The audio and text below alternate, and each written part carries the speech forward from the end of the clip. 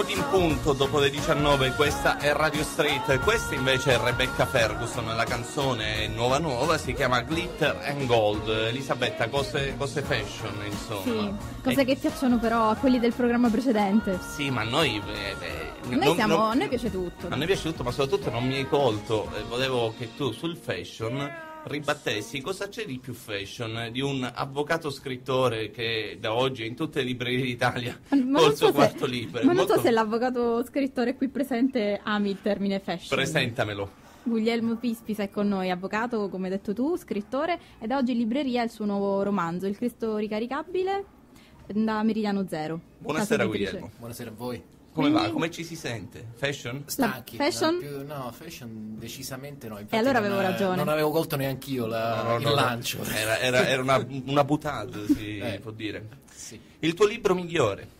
Eh, L'hai detto tu?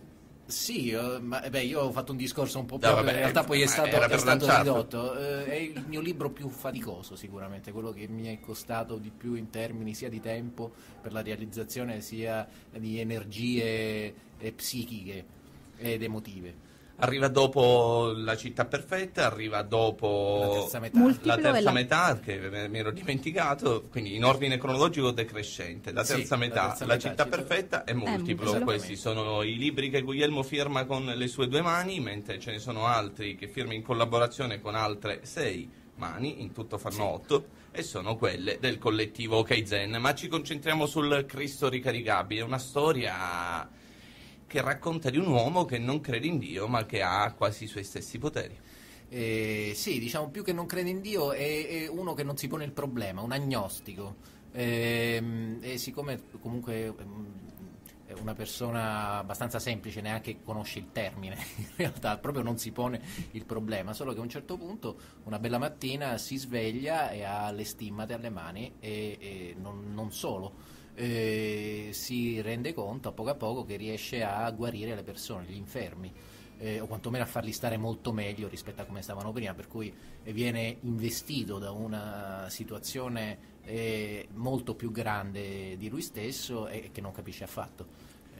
Io comincerei ascoltando l'inizio del libro, che è un prologo epilogo, così sì, è, è in realtà è l'inizio e anche la fine, o quantomeno è parte, la, la prima parte della fine. Quindi un prologo si epilogo. chiama prologo epilogo, Ce lo ha interpretato questo pomeriggio, lo ascoltiamo in una versione registrata, un attore della nostra città, lui si chiama Sassanneri, Sassanneri legge il prologo epilogo del Cristo ricaricabile di Guglielmo Pispisa.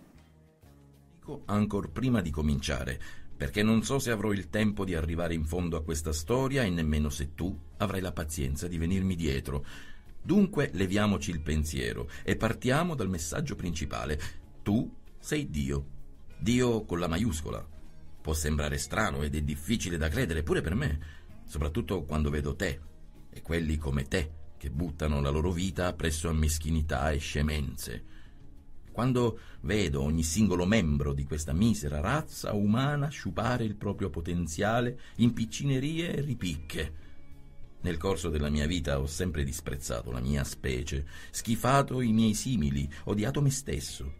Ancora oggi, con tutto quello che so e dopo aver vissuto le esperienze che voglio raccontare, ancora oggi gli uomini mi danno ai nervi Uomini che si sparano nel sedere da duemila anni per un pezzo di terra pietrosa, che parlano male dei loro amici, che invidiano qualcuno solo perché non riescono a vedere il dolore che prova. Uomini che il sabato sera si recano in grandi sale colorate e impersonali e giocano a tombola, in mezzo a sconosciuti senza alzare la testa dalla propria scheda, che non cambiano mai punto di vista. Uomini come me, come te. Eppure il succo non cambia. Tu sei Dio. Nessuno è perfetto. Non sono sicuro di riuscire a spiegarlo bene, ma intanto tienilo a mente e vedremo di arrivare alla dimostrazione per gradi.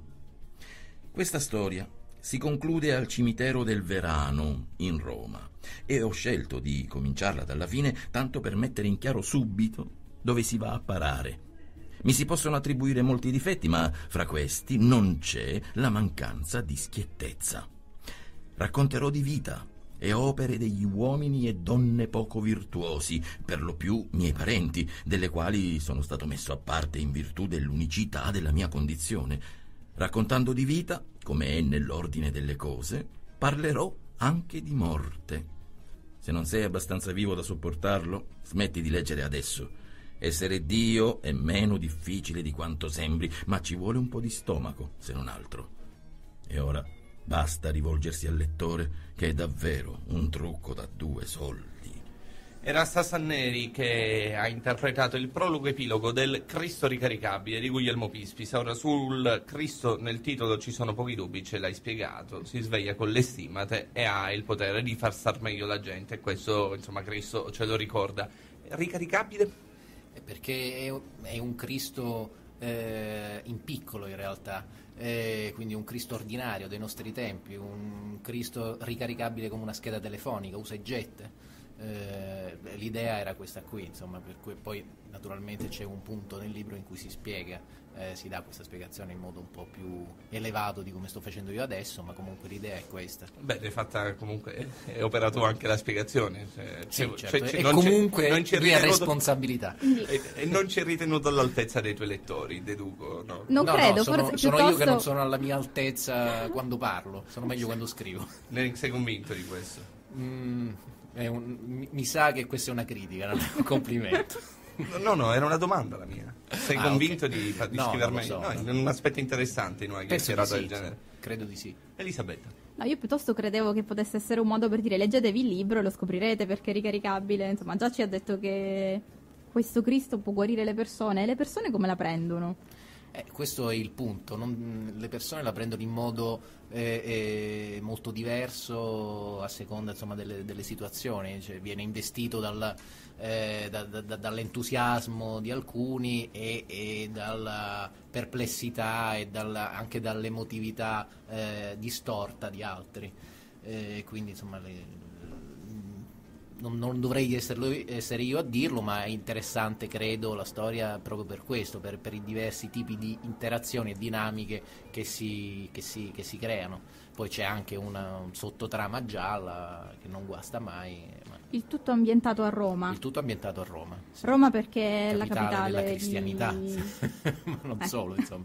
È una città che amo molto e che si prestava alla, alla bisogna, insomma, alla, al tipo di storia che, che volevo raccontare. Eh, io generalmente sono abbastanza eh, non, non, privo di radici, eh, eh non sono davvero privo di radici, però apparentemente eh, le mie storie non sono mai ehm, ambientate in luoghi riconoscibili come i miei luoghi eh, d'origine, i miei luoghi dell'anima, però insomma chi mi conosce probabilmente riesce tra le righe a, a individuare anche eh, de, delle origini, delle scaturigini della mia, della mia vita. Domanda secca, poi ci fermiamo un attimo, in qualche modo, in qualche senso ci hai provato gusto ad ambientarlo a Roma, il Cristo ricaricabile? Sì, vabbè. Eh, eh, un po' sì. Il setting diciamo, si prestava abbastanza. Ci fermiamo un attimo, torniamo con Guglielmo subito dopo una brevissima pausa.